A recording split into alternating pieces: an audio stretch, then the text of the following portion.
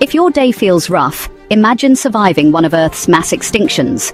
Let's explore the top five. First, the Ordovician Silurian extinction, 440 million years ago.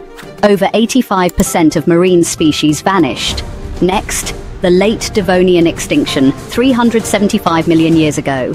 Nearly 75% of ocean life was wiped out. Then, the Permian Triassic extinction, 250 million years ago.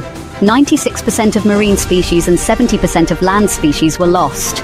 Fourth, the Triassic-Jurassic extinction, 200 million years ago. 80% of life disappeared, paving the way for dinosaurs. Finally, the Cretaceous-Paleogene extinction, 66 million years ago. A massive asteroid wiped out the dinosaurs and 75% of all species. These extinctions reshaped life, leading to today's diversity. Curious for more? Hit like and subscribe.